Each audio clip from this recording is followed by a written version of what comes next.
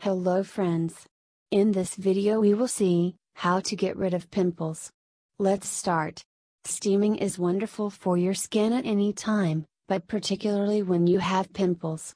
The steam will open your pores and allow your skin to breathe. This helps get rid of oils, dirt and bacteria trapped in the pores that can cause infection or inflammation. Method. Take a large container with hot water, and allow the steam to come in contact with your face, for a few minutes. Rinse your face with lukewarm water and, after drying, apply an oil free moisturizer.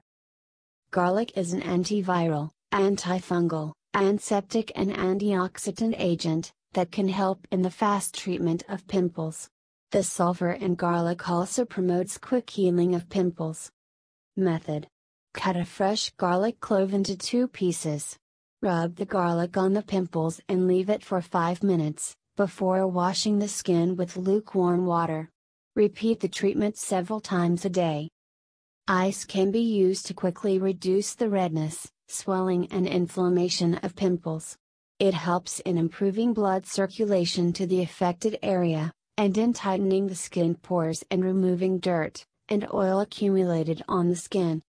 Method Wrap the ice in a piece of cloth, and hold it on the affected skin area for a few seconds.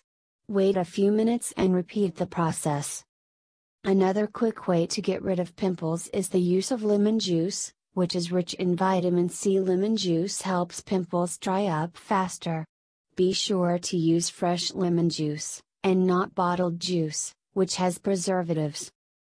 Method Dip a clean cotton swab in fresh lemon juice, and apply it to the pimples before going to bed.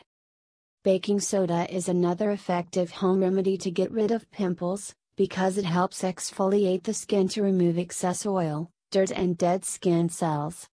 Method Make a thick paste by mixing 1 teaspoon of baking soda with some water or lemon juice. Wash your skin well, leaving it slightly damp. Apply the paste on the affected areas, and allow it to dry for a few minutes.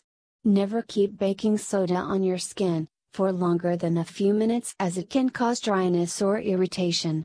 Honey is a source of natural antibiotics that can speed up the healing process, as well as help prevent infections. Method Dip a clean cotton swab in honey, put it directly on the affected area and leave it on for half an hour. Wash the skin well with lukewarm water. Do this a few times a day. Thank you for watching this video. Please like, share, comment. To watch more videos click subscribe button.